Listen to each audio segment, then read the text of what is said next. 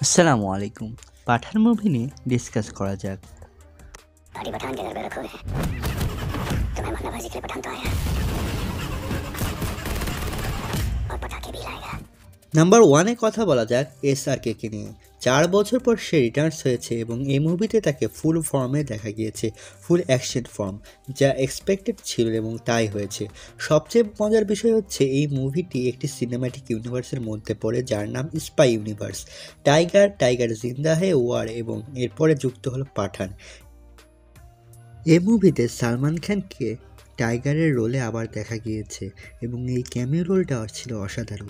যেখানে Pathaan hand to hand কম্ব্যাক্টে মাহির, সেখানে দেখা যায় টাইগারকে হালকের মতো লড়তে অর্থাৎ এক ঘুষিতেই সবাইকে শেষ করে দেবে। এরকম একটা ফর্মে থাকে আমাদের সাল্লু ভাই।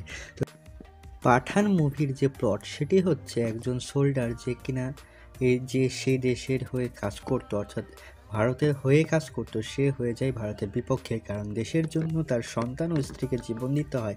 ঠিক তখন সে হয়ে ওঠে দেশের শত্রু। ভারতের এগেনস্টে এখন সে টেররিস্ট হামলা করাবে এবং তার অস্ত্র হলো বায়োলজিক্যাল উইপেন তবে সেটিকে খুলে বললে ভাইরাস এবং সেই উইপেনকে থামাতেও দেশের সুরক্ষাতে পাঠান মিশন শুরু করে এবং বাকি অংশ আপনারা মুভিতেই দেখতে পাবেন। এই মুভিতে প্রেজেন্টেশন ভিএফএক্স বিজিএম সব কিছু ডিসেন্ট ছিল।